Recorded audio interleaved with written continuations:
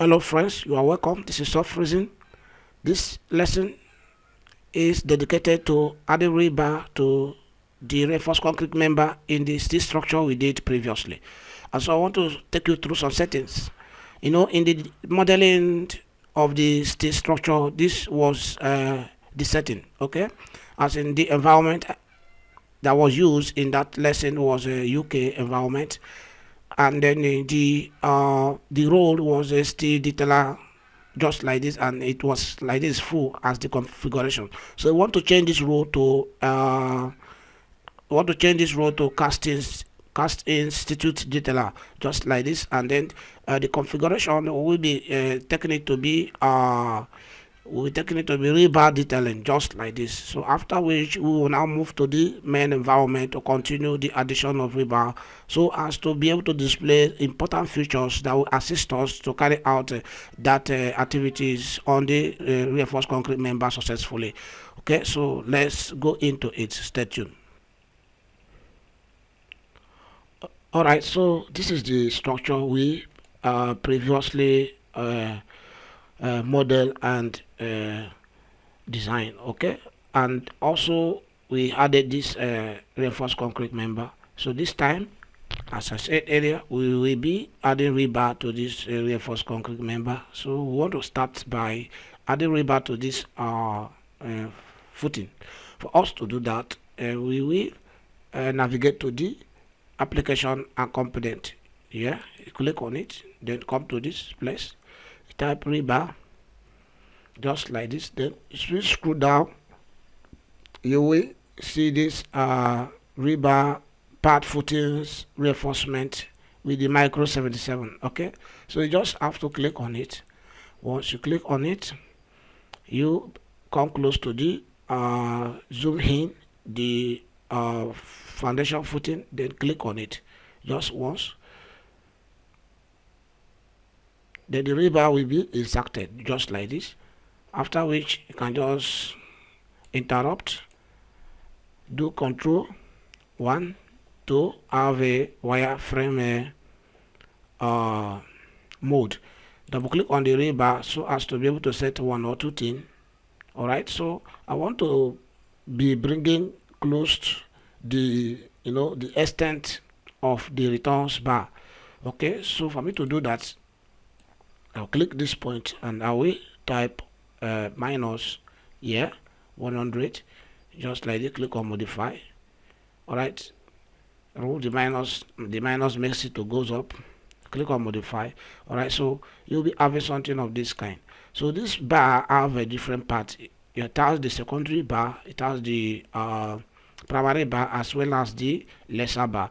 So the lacer bar is this one's that is by the side. So if you don't want the lacer bar just come to the lacer bar uh, tab click on this uh, default and then you can select no. As soon as you select no click on modify. You notice that the lacer bar is no longer there but if you still want it to be part of the uh, rebar placement you just say yes or you click on default and then you click on modify. It will be inserted just like this. Okay and so the lacer bar uh, diameter is also adjustable. Okay the secondary bar diameter is 60 mm so i want to be making it 12 just like this. Click on modify. And as well as the sorry this was the primary bar. As well as the secondary bar i want to make it uh, 12 mm just like this okay? And then you click on modify. Then you cannot apply it and okay. All right so i've haven't uh, installed uh, the rebar for the uh, pad footing just like this. I want to be also placing or adding a starter bar. So for me to do that just scroll along this uh, application and component and see uh, scroll down. I think there is a starter bar. Okay this one. This is uh, starter bar. We'll be using this one starter bar for footing. Uh, micros number 87 so you click on it. As you click on it you just come and select this uh, uh, column okay? Mind you uh, this column uh, height is uh, is 500 mm so you just select it. So once you select sorry uh, you undo it. You are supposed to select the footing. So select the footing to insert it just like this. So once you select it you can see it's, it is inserted. But it's not well arranged for so you have to arrange it. For you to do that you just right click and then click on the interrupt. Be able to select the uh, starter bar by double clicking on it. Then in the dialog box box you'll be able to uh, make some adjustment like the adjustment i want to do. You can see this uh, particular uh, uh, bar protrude the uh, base plate. If i do control 4 to get to the solid uh, to the solid mode of this project you see that these are actually protrude the protrude the uh, the base plate which is not a model. So I go back to control 1 which is the wireframe okay? Then I select this again to ensure that it is being activated here so I want to be bringing it down. For me to bring it down I want to just bring it down by saying putting 500 mm here click on modify. So you have something like this. I think this is model enough now okay so the next thing I will be looking at is the uh the the stirrups okay? You see the stirrups is uh, actually not extended to this point. So i want to distribute the stirrup in, a, in, in such, such such that uh, is extended to uh, this area of this uh, uh, starter bar. So for me to do that i will uh, navigate to the locations. All right location parameter uh,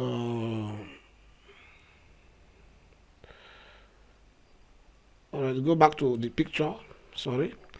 Go back to the picture. The number of uh, the stirrups here is four. One two three four. Okay that is what you're seeing for here and you can see the stirrup uh spacing the stirrup spacing is 75 okay? So i want to be adjusting this spacing as well as this height. So come to this place and then you put instead of 50 here you just make it uh, let me just say uh, 200 okay? Click on modify. Uh, put minus 200 modif modify. Yeah you have something of this kind. Just make it minus 500 we'll make it minus 500 click on modify. All right. So the stirrup is starting from here. And then the number uh, of it is going to be 5 then this spacing will now have to change it to 200 so that it can be distributed along the uh, starter bar's uh, uh, length. Okay? So click on modify. You have something like this. All right? So this is model enough. This is actually what we intended. Okay so after finishing it like this you just need to uh, you can get to parameter or locations if you check the bottom you can see this one is just uh, the concrete cover as in the blinding is also considered there okay to be uh, 100 okay?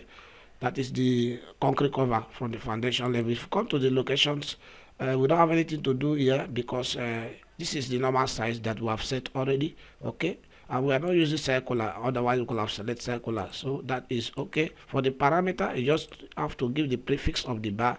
Maybe you can call it t okay? As in the corner bar the same thing t. And then the stirrup you can use m.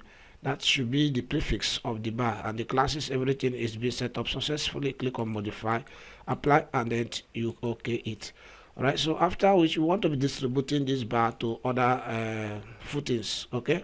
For us to do that you just have to zoom in and then be able to select the uh, starter bar. Select the starter bar that is not the starter bar. Make sure you select the starter bar like this okay? Hold the control key select the foundation uh, uh, footing bar this one. After which just right click and then click on copy. Once you click on copy pick this point and then point uh, 4 and then place it at point 3 to insert it. There also place it at point 2 to insert it as well okay? All right so we want to place it at point uh, 4 to insert it. So we have to delete this one uh, that you have we put it uh, when we are demonstrating the lesson. So you right click and then click on delete to delete that one. And then you can now copy this one that we have already set hold, hold the control key and right click pick on copy. Just like this pick the point 2 and then place it point 1 all right so that's that is all it okay? After we right click and then interrupt. All right so we want to be distributing this to the other side. You zoom closely. As well select the starter bar with the control key select this one right click click on copy pick point A then place it at point B just like that. You can rotate the structure this way. After which you select this command by right clicking and click on interrupt. Zoom this slide in select the starter bar and the footing bars right click again pick copy pick point 4 to point 3 and place it and to point 2 and also to point 1 so we have successfully placed our footing successfully just like this. Okay? We want to add a rebar to the beam. And for us to do that uh, we will uh, navigate to beam come to this place and type uh, can just type rectangular? Sorry. Or a rectangular beam automated reinforced uh, layout this one. So you just select it and then be able to select the the member.